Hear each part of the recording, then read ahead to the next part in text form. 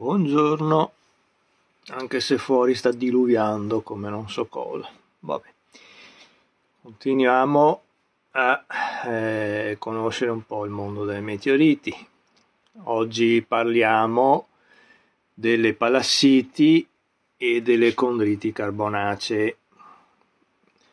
Allora, partiamo intanto con quelle più semplici, cioè le carbonacee Eh, meteoriti carbonacei sono praticamente il materiale più antico conosciuto dal lato spaziale perché hanno un'età di circa 4 miliardi e mezzo, 4 miliardi e 6 di anni.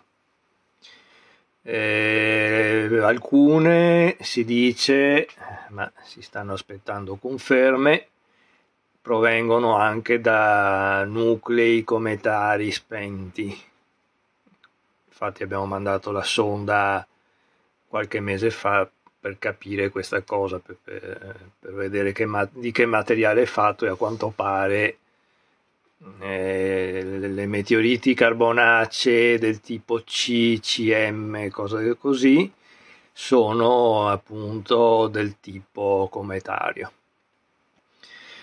Cominciamo proprio con una CM2 famosa che è la Marchison questa qui che è sotto.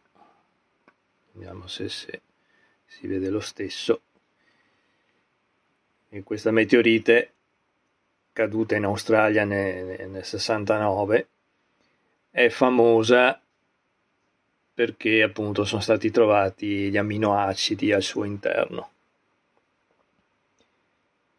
Questo è un frammento di 30 erotigrammi qui si può vedere la parte tagliata dove si vedono delle piccole vediamo se si riesce a mettere a fuoco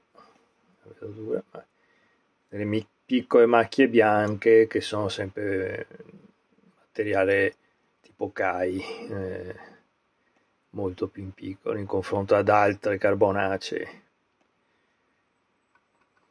Ma meteorite abbastanza rara perché in Australia intanto è vietato esportare meteoriti senza permessi, cose del genere, quindi questo materiale è sempre più raro. Poi abbiamo la guiba, che è una bencubinite e come avevo detto le carbonacee di solito non contengono molto metallo, mentre invece questa sì, ne ha parecchio, come si vede sono tutte palline ferrose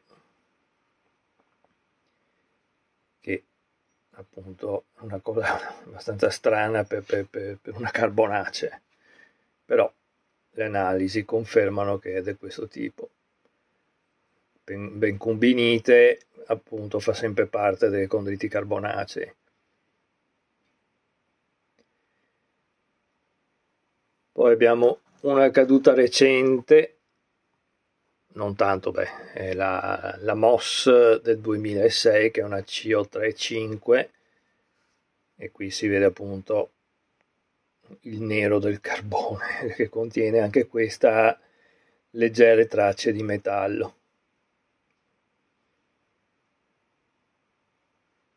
e qualche condrolina scura o forse carbonato adesso bisognerebbe guardare le analisi adesso non me li ricordo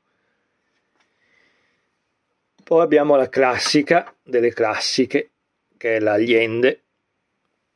Eccola qua. Questo è un fine pezzo tagliato.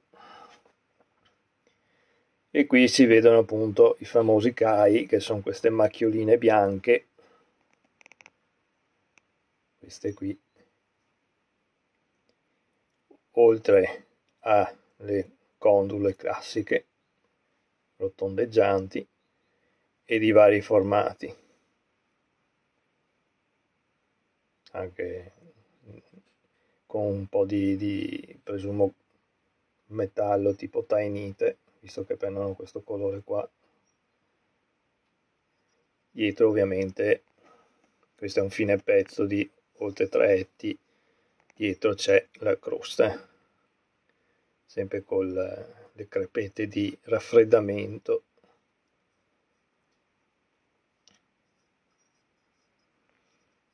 anche questo materiale una volta se ne trovava tanto, adesso è sempre più raro perché ovviamente eh, sono tutte in musei, collezioni, roba del genere, quindi no, sempre meno se ne trova.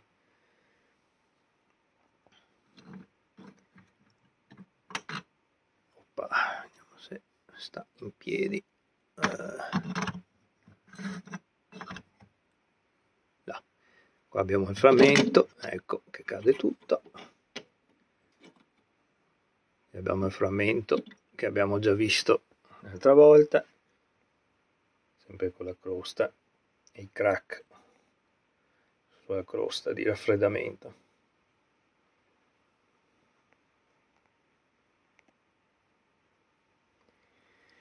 Poi abbiamo un'altra meteorite carbonacea strana che ancora non si sa cosa può essere perché l'hanno classificata in 3000 modi, che è la Tafassa 7 anche questa tanto metallo per essere una carbonacea al momento l'hanno classificata come una CR ma anche una condrite primitiva. Quindi dobbiamo ancora capire cosa e come. Proprio sempre strano vedere una carbonacea con tanto metallo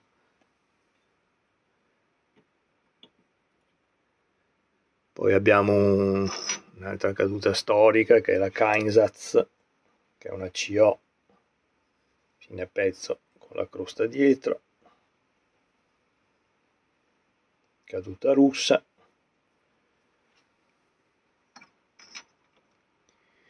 Poi abbiamo alcune carbonacee del tipo CV, che sono tipo le aliende in pratica, che ho trovato io nei vari arrivi dal Marocco di materiale. Anche qui si vedono alcuni CAI e le condrule. Notare che qui la matrice è molto più marroncina in confronto al nero de, de, dell'Allende. Penso dipenda sempre da, da, da dove vengano recuperate, tipo deserti, cose del genere, che cucinano la meteorite in pratica, ma anche lì è tutto da vedere. Qui abbiamo un'altra, qui si può vedere un enorme CAI. Io sti cellulari li odio.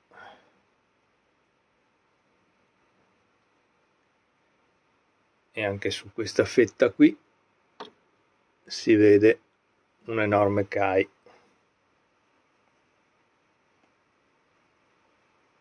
Insieme a varie console multicolore.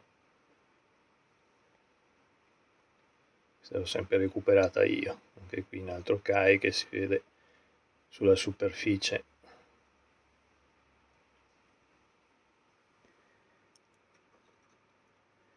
Poi abbiamo la Daralgani 412 che è una CK.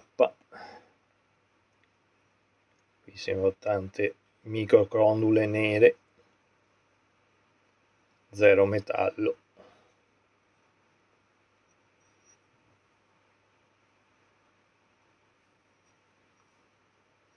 Sono le prime recuperate negli anni fine anni 90 de, di questo tipo nel deserto libico. Poi abbiamo una delle ultime CM recuperate sempre in Marocco. Questa è la NVA 13371 sempre con crosta nera di fusione e la L Actane 019 frammentino sempre qui crack sulla crosta un po' orientata. E sempre una CM cioè tipo la Marchison in pratica in Italia abbiamo due carbonacee che praticamente sono i capostipiti che hanno dato il nome appunto alle meteoriti, alla classificazione delle meteoriti carbonacee. Questa è la Vigarano che dà il nome al gruppo CV. Ci sono due un fine pezzo e una fetta ecco il vetro non, non fa vedere bene il grano è molto riconoscibile nelle condrule e la matrice in confronto alle agliende o altre meteoriti perché è tanto fitta come, come matrice. Vediamo se riesco. Ecco un po' cioè le, le, le condule sono tanto fitte ne, ne, avvic- proprio vicine non distanziate e poi abbiamo la Renazzo che qui ho una fettina proprio microscopica perché è talmente rara che, che è impossibile trovarla che ha dato il nome al gruppo delle CR quindi abbiamo due meteoriti famose noi in Italia per questo tipo di, di, di condriti. Boh. Le carbonacee, questo è tutto.